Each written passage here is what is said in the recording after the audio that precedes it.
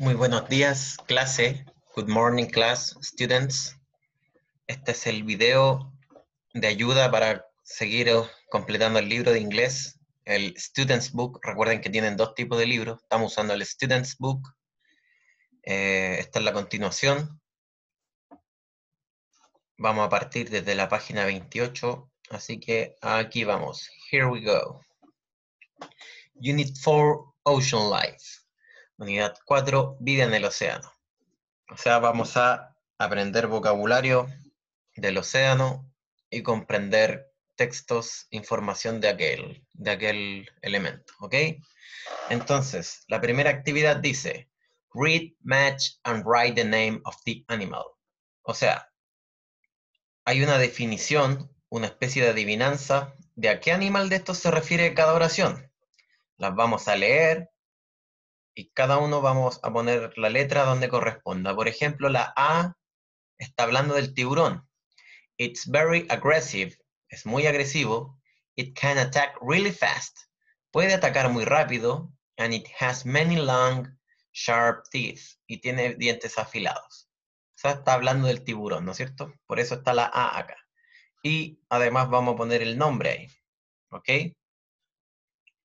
Yo voy a ir dejando los nombres acá también la, vamos a la letra B. B. It has eight arms called tentacles. It lays eggs and it crabs. It has, tiene ocho brazos. Vamos a ir destacando las palabras importantes. Called tentacles, llamadas tentáculos. Pone huevos. It lays, lays es como poner.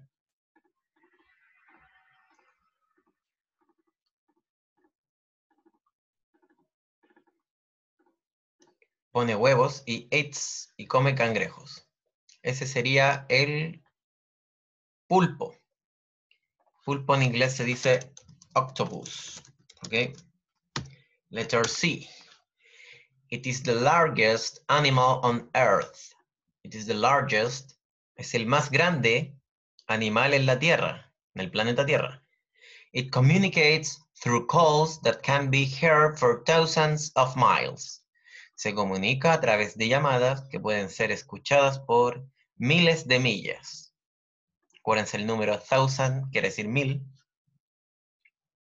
Esta palabra through, a través de o mediante, entonces este animal es la...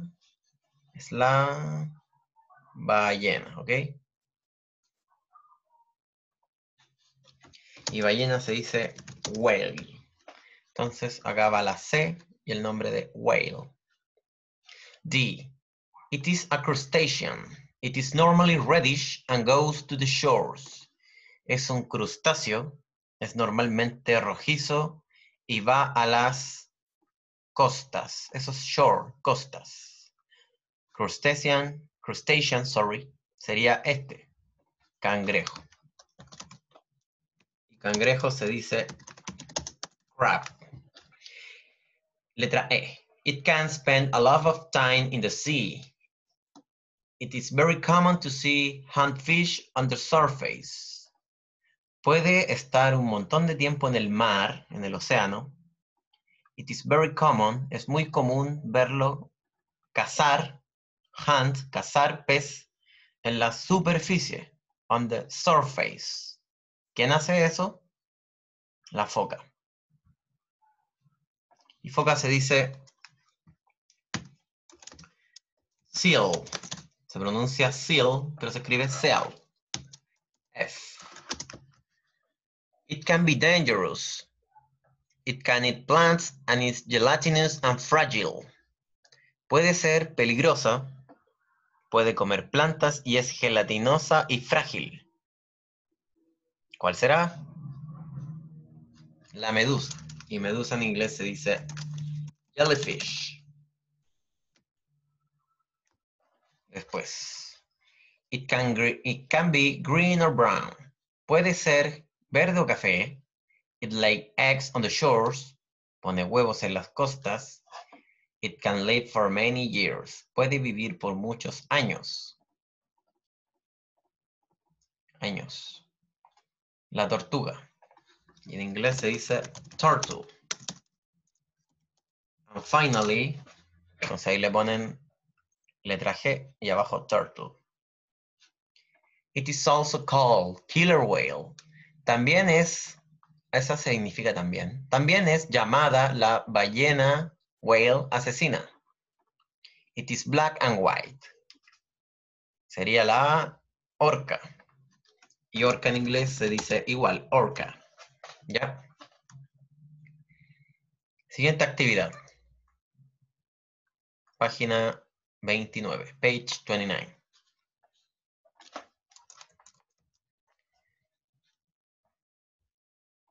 Acá hay que ordenar, hay que ordenar las preguntas para generar obviamente una pregunta. ¿Cómo se hace una pregunta en inglés? Siempre se parte con el do. Vamos a hacer la A.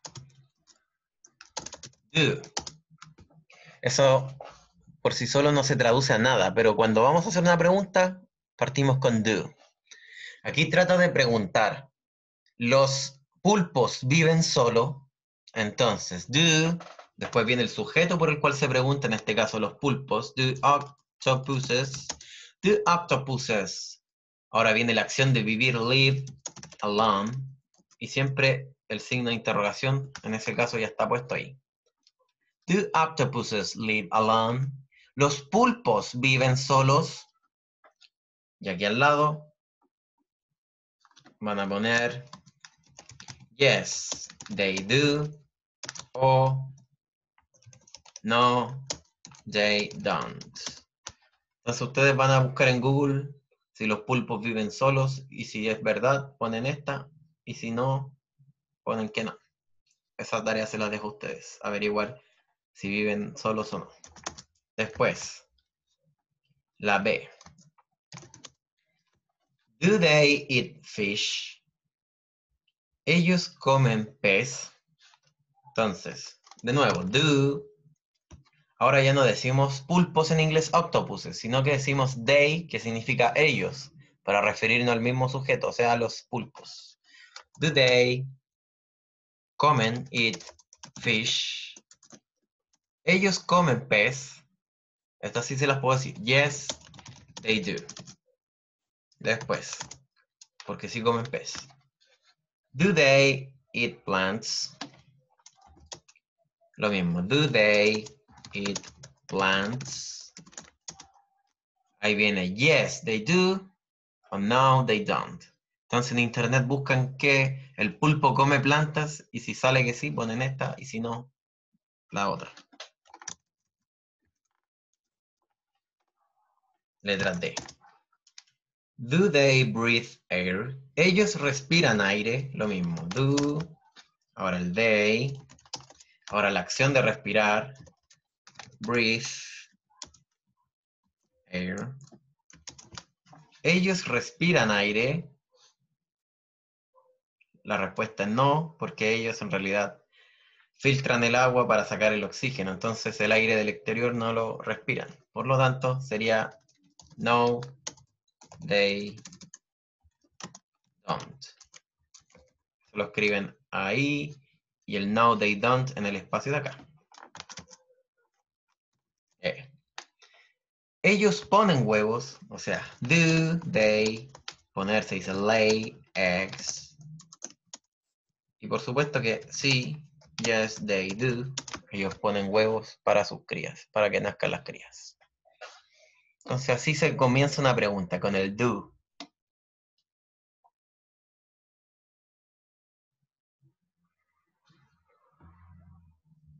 Ahora, mira y completa. Dice la A. Do starfish live in groups? La respuesta es no, they don't. No lo hacen, viven cada estrellita de mar vive separada.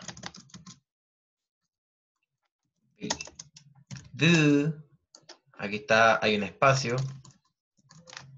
Do, Y focas, están preguntando por las focas, por lo tanto, en inglés, do seals lay eggs?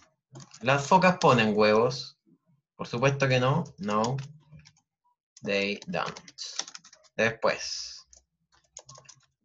tiburón se dice, sharks breathe air. Lo mismo que pasaba con la anterior.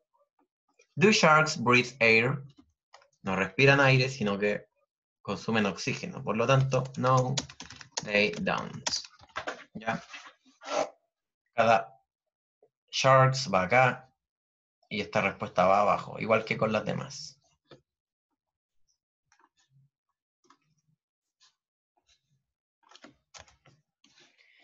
Lee y encierra en un círculo lo que es verdadero, true, o falso, false.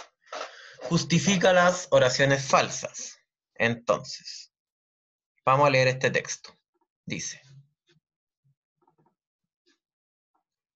Dolphins are mammals. Los delfines son mamíferos. They can stay underwater for 15 minutes. Pueden estar bajo el agua por 15 minutos. But they cannot breathe underwater. Pero ellos no pueden respirar bajo el agua. O sea, tienen que cada 15 minutos salir al exterior a respirar. They haven't got gills. Ellos no tienen, esto significa no tiene o no tienen. They haven't got gills. Gills son las branquias, o sea, esas ranuras que tienen los peces por el lado por donde entra el agua y se filtra para hacer aire, para hacer oxígeno. They haven't got gills. ¿Ven? Porque son mamíferos, no tienen. They live in groups of about 10 to 12 dolphins. Viven en grupos de alrededor 10 a 12 delfines. They eat fish. Ellos comen pez. There are 36 different kinds of ocean dolphins. Hay 36 diferentes tipos de delfines de océano. Recordemos que hay de río también. They communicate with each other. Ellos se comunican con el otro using sound and whistles, usando sonidos y silbidos. Entonces, según lo que leímos recién, dolphins can breathe underwater. Los delfines pueden respirar bajo el agua. ¿Eso es verdadero o falso? Sería falso, porque según el texto dice que no pueden, sino que solamente pueden 15 minutos. Entonces, ahí sería they can just stay underwater 15 minutes. Después, dolphins live alone. True or false? Los delfines viven solos. Eso es false. Ahí lo encierran falso. Porque dice que viven en grupos de 10 a 12 delfines. 10 to 12 dolphins. False. They live in groups. Viven en grupos. Dolphins eat fish. Los delfines comen pez. Eso lo dice ahí, por lo tanto es verdadero. Ya. Choose, draw, and describe a sea animal. Aquí la niña nos dice, This is an orca. Esta es una orca. Orcas are black and white. Son negras y blancas. They are carnivorous. Ellas son carnívoros. They eat fish, seals, penguins, and even turtles. Comen pez, focas, pingüinos e incluso tortugas. Entonces, en una mitad del espacio de acá van a escribir en inglés una breve explicación de un animal marino que vayan a elegir. En la otra mitad lo dibujan y lo pintan. Por ejemplo, esta niña dibujó una orca. Ustedes no se pueden dibujar un tiburón y describir en inglés un tiburón, de qué color es, qué cosas come. En palabras cortas y en inglés. Y en el otro lado el dibujo, ¿ya? Label the diagram. Completa el diagrama con el vocabulario de las partes de un animal marino. Ya. Aquí voy a ir escribiéndolo en la misma, de la misma forma para que se pueda identificar. Esta parte de acá, en inglés se llama dorsal fin, o sea, aleta dorsal. Más allá tenemos la cola, que es tail. Ahí van escribiendo cada palabra dentro del recuadro. Dientes en inglés se dice teeth. Ojos se dice eye. Y branquias, que es la que le explicaba anteriormente, se dice gills. ¿Ya? Y acá, las definiciones. Dice,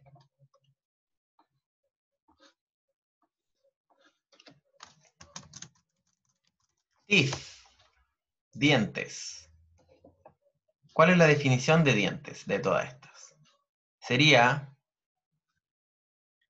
it helps, no, it helps to eat and kill. Ayuda, todo eso significa ayuda, it helps. Ayuda a comer y asesinar, o sea, los dientes. Acá pondríamos teeth. ¿Ya? Vamos a ir ordenando. Después, I. It helps to see. Ayuda a ver.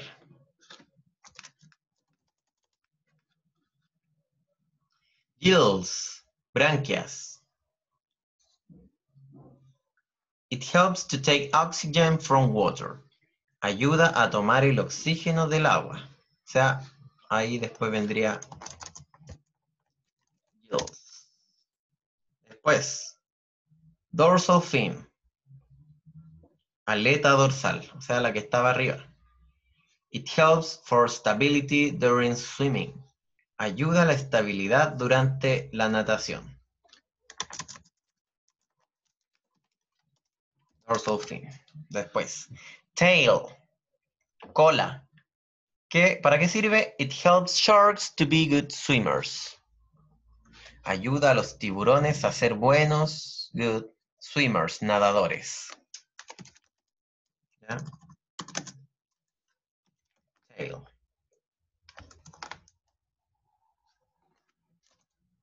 Ahí sí. Después tenemos dorsal fin, teeth. Nos falta flipper. Flipper son las aletas de los lados. ¿Cuál es su función? It helps them get strength from swimming and balance. Les ayuda a tener fuerza para nadar y balancearse. O sea, ahí iría al inicio de todos flipper. Entonces ahí, ahí estaría cada una con su definición. Esa va ahí, ahí, va acá, justo al lado. Y ese es el equivalente. Esta no la vamos a hacer. Y hasta acá llegamos por ahora, hasta la página 31. Espero que esta cápsula les haya ayudado y hayan aprendido mucho. Así que me despido, alumnos. Goodbye.